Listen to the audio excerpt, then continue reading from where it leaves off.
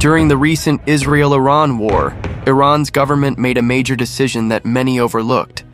They turned off GPS signals within their borders and officially switched to using China's Beidou satellite navigation system.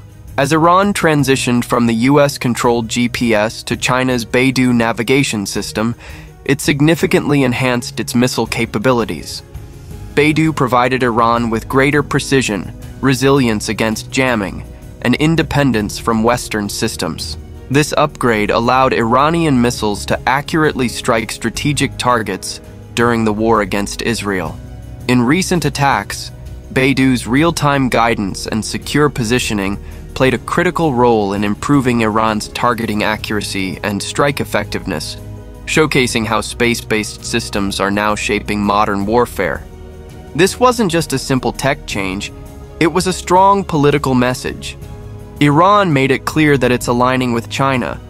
Many experts believe this move will benefit Iran in the future, especially since there's a belief that Israel agreed to the ceasefire only to regroup before launching another attack. For many years, the GPS system, created and managed by the US military, has been the main technology used for navigation, tracking, and timing around the world. But for countries like Iran, which have a tense relationship with the US, depending on American systems, it was risky. They could face GPS shutdowns, spying, or cyber attacks at any time. Why did Iran make this move now? There are several likely reasons behind this important decision. First, with growing risks from cyber attacks and electronic jamming, especially during rising tensions with Israel and the US, Iran could no longer trust a system that its enemies could easily interfere with. Second, China's Beidou system not only has strong technical features in some areas, but it also fits well with Iran's political goals. China and Iran are building stronger ties in areas like trade, energy, and defense.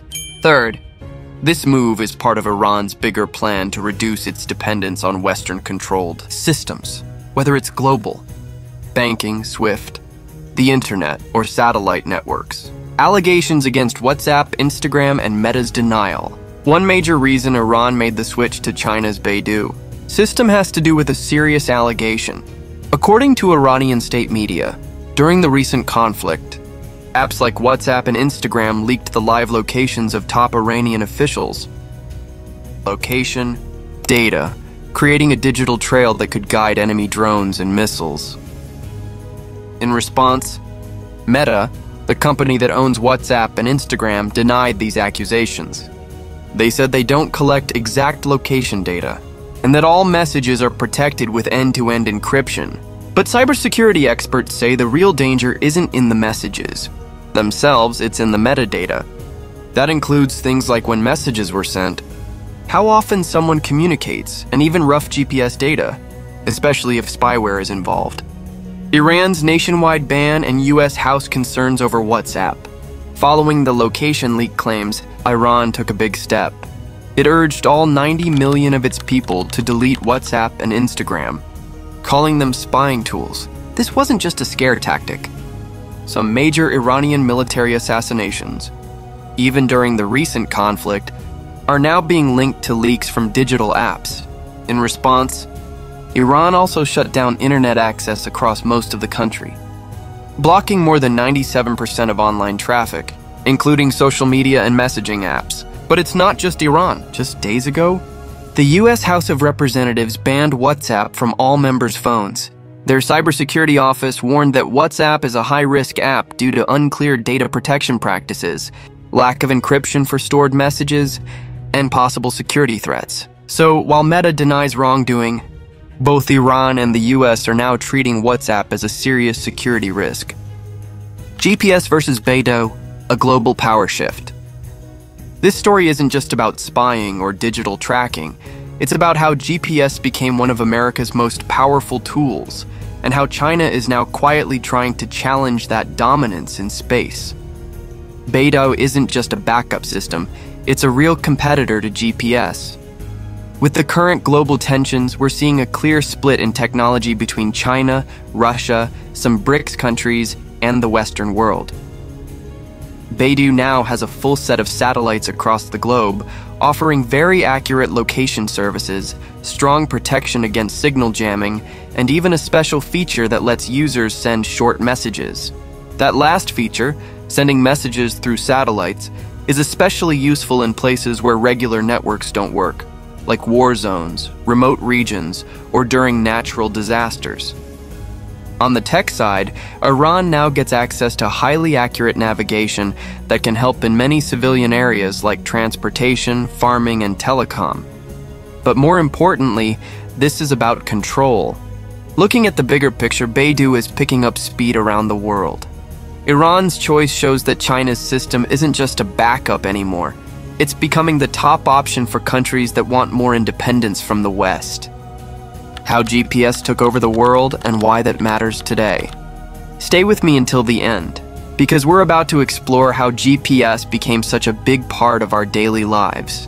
Most of us couldn't function without it anymore. Do kids even learn how to read real maps these days? Why did China realize that whoever controls space also controls the battlefield? How does China's Beidou compare to the American GPS system? And how might this help Iran in any future war? To understand today's shift, we need to go back to the beginning. It all started in 1957 during the Cold War when the Soviet Union launched Sputnik, the first satellite. American scientists figured out they could track Sputnik's signal using something called the Doppler effect.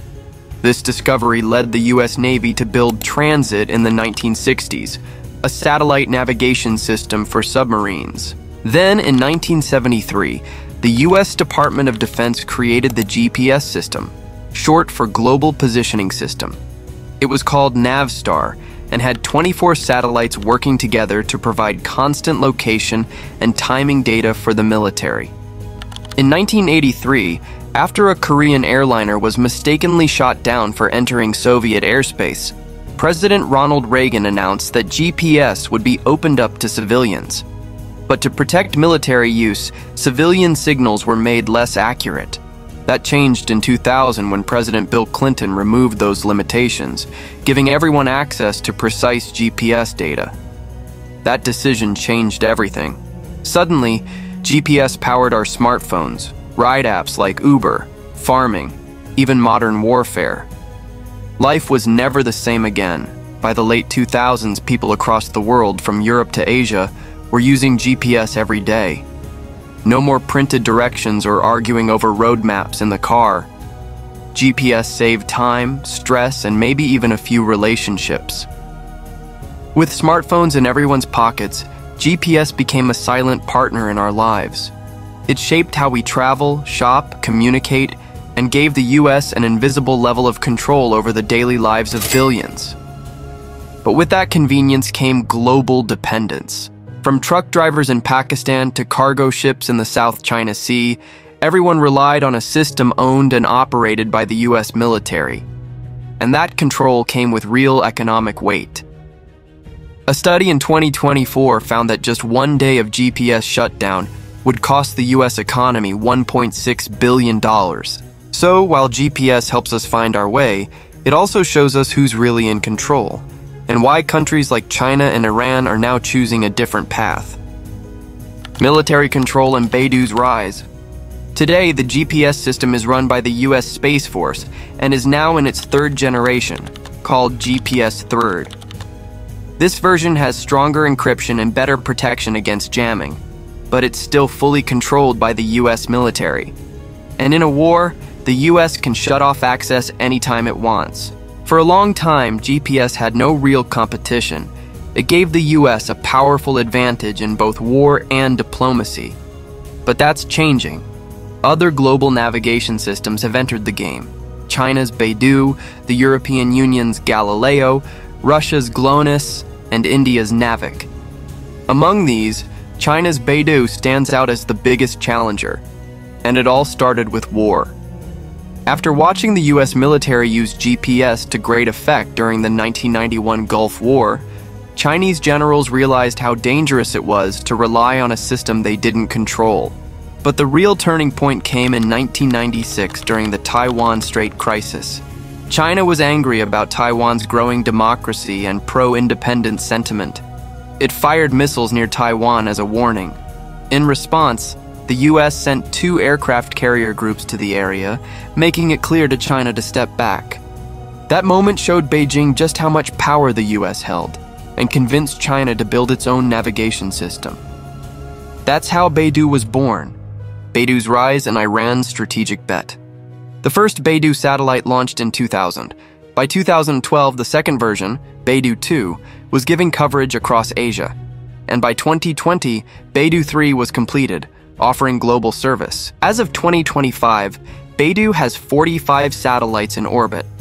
In some regions, like Asia, it even gives more accurate positioning than the US GPS system. But Beidou isn't just about maps. It has a special encrypted messaging feature, extremely useful in wars. Militaries and governments can send short messages even when other systems fail. Countries like Iran now have the option to use a system that isn't under US control. Iran's move to Beidou isn't just about better tech, it's about choosing a partner they can trust, one that won't cut them off during a war. Think of a future conflict between Iran and Israel or the US. If Iran used GPS, access could be blocked or the signal tricked. But Beidou offers Iran protection, precision for drones, missiles, and troops. In fact, Iranian war games in 2022 showed drones worked more reliably under Beidou, especially in tough terrains like mountains, where GPS signals often get jammed. China's silent strategy and the future of space wars. China is following a quiet but smart strategy. Unlike the US, it doesn't force countries to join Beidou. There are no big press events or threats. Instead, it just makes Beidou reliable, powerful, and available. As more countries feel unhappy with Western pressure, spying, or sanctions, they slowly move toward China's system without much noise. And the more they do, the weaker the US control over global navigation becomes. It's not a loud change. It's a silent shift in power happening above our heads in space. In 2025, four big satellite systems share the world America's GPS, China's Beidou, Europe's Galileo, and Russia's GLONASS. But Beidou stands out because it's not just about tech, it's political. It represents the idea that countries can choose their own path and move away from US influence. As the global south rises, we might see the beginning of a new kind of global alliance, built on satellite signals, not speeches or votes at the United Nations. And future wars? They won't just be about soldiers and missiles. They'll be fought with data, timing, and space dominance. GPS may have started this new battlefield, but it won't finish it. For Iran and many others, space is no longer just empty skies. It's a battleground. And by choosing Beidou, Iran is preparing for that future, where who controls the signal controls the war. Conclusion We're entering a new chapter in global power, one where the country that controls your navigation system also controls how you move, trade, and even fight wars. Iran moving away from GPS is not just about tech, it's a clear message to the world. The days of blindly depending on the US for technology are fading. From social media to banking to satellites, the world is shifting toward more choices and more control. This isn't just about signals from space, it's about who holds the power behind them. The sky might look the same, but the real battle is for control of the invisible systems guiding our lives. What do you think? Should more countries stop depending on GPS? Is this the start of a tech Cold War? Let us know in the comments. This is Shazam, and you've been watching Deep Dig Insight. Stay curious, stay sharp,